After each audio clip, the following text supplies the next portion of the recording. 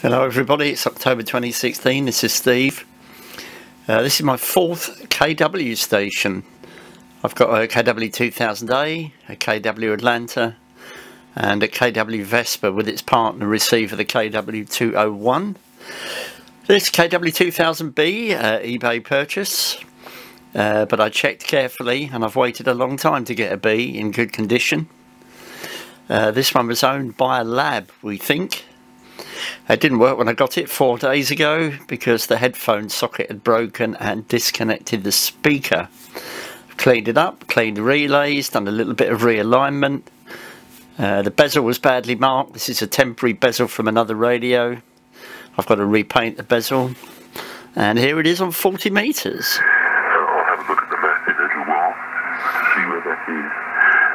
Uh, okay, well, thank you for the call. Uh, I do appreciate it.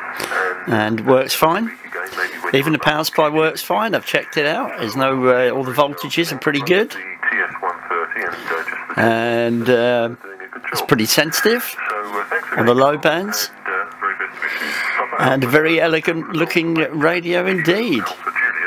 And pretty sensitive. Uniform, Oscar, Oscar. Bye-bye. Bye-bye, Rob. Um, it's a bit of a pain coming down the garden path uh, the older you get. Uh, but I've managed to struggle down here with a nice hot drink. So this is 40 metres during the middle of the day in October. It's pretty lively. I'm going to see what I can keep about. So uh, now uh, I've got four KW stations. this one we think was made in 1968 or 69. Uh, I'll have to check the date code. And uh, it'll be operating on the KW day early in 2017 in January uh, for the 61st anniversary of the company.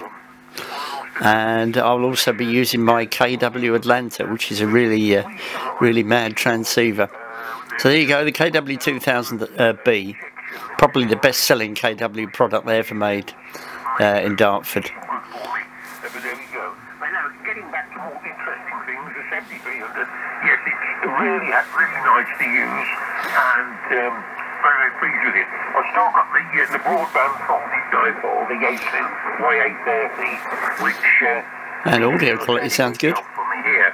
Uh, Not many videos of the KW2000B on the internet, which is a bit odd considering how popular uh, uh, how popular it was. So um, I'll probably post one or two more.